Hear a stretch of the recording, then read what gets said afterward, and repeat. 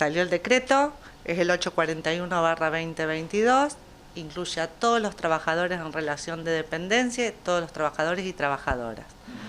Así que es un bono de 24 mil pesos por única vez, una suma no remunerativa que no lleva ningún descuento y que va a, eh, van a estar incluidos los trabajadores que cobraron sueldo neto de bolsillo en este mes de 161 mil pesos, 161 mil 900.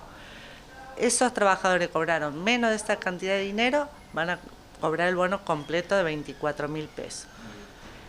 Los trabajadores que cobraron 162 mil pesos en adelante hasta llegar a los 185 mil pesos van a cobrar un bono, la diferencia, porque la, idea es que todos los trabajadores lleguen a un sueldo de 185 mil pesos, 859 como dice el decreto. ¿Esto es neto?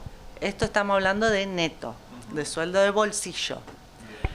Así que bueno, eh, yo creo que todos los contadores, ya todas las empresas, porque salió el boletín oficial, están notificados, se debe pagar dentro del mes de diciembre, así que bueno, ya está la gente obviamente, todos los trabajadores estamos esperando una ayudita aparte, pues, este, en estos días se pagaron los aguinaldos y eso, pero bueno, atento a la situación económica del país y del bueno y ni hablar de los trabajadores es una ayuda.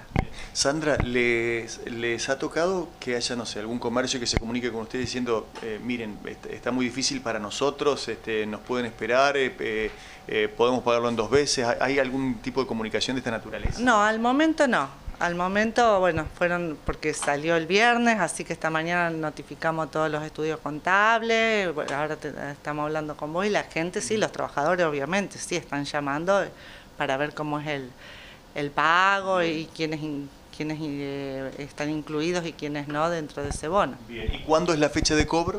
No, no, no está especificada, está dentro del mes de diciembre, o sea, en estos 15 días que faltan, para abonarlo. Muy bien. Bueno, eh, eh, una sonrisa para, para, los trabajadores esto. ¿Qué es lo que pasa con aquellas empresas que decían, bueno, yo pensaba dar un bono de 10? Bueno, esas empresas que tenían pensado darle un bono pueden eh, compensar ese bono que, del decreto con el que tenían pensado entregarle a, a sus trabajadores.